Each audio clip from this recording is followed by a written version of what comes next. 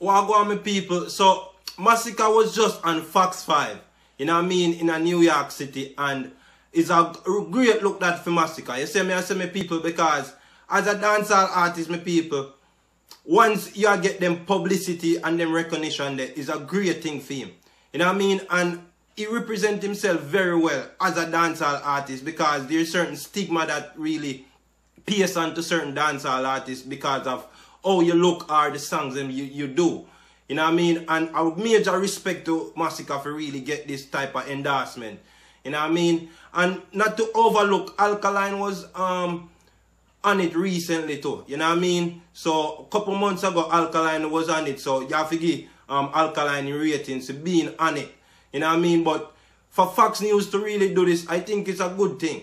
You know what I mean? Giving dancehall artists that, that um, limelight, so to speak.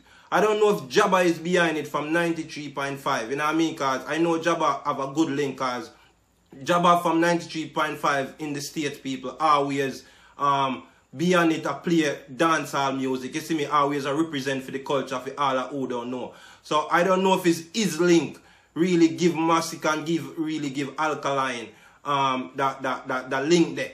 You know what I mean? But in any instant my people is a good look for Masicka.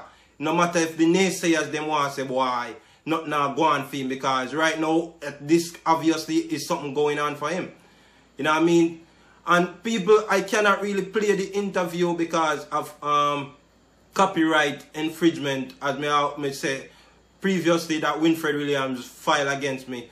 But the video is out. You can go and watch it. I will paste um, a link in the description so um, everyone can watch it. But it's a good look for Masicka. You know what I mean? Big up yourself, Masicka. Peace. I'm out. Work in the country, you have to look pan. And him do great works too, cause even though him the jail, him still be the champion DJ boy. And some boy we say them didn't want him go jail. the biggest dancehall analyst in the world, Ninja Man. The biggest dancehall analyst in the world, Ninja Man. I am saying that. Winford Williams. Take me on on that if you wish.